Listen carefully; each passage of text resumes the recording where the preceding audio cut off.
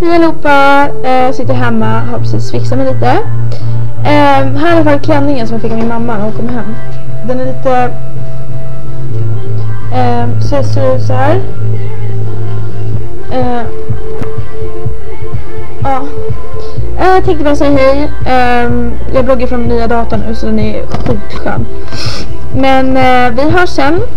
Eh, jag skriver lite mer om och lägger in lite bilder sen men vi hörs sen.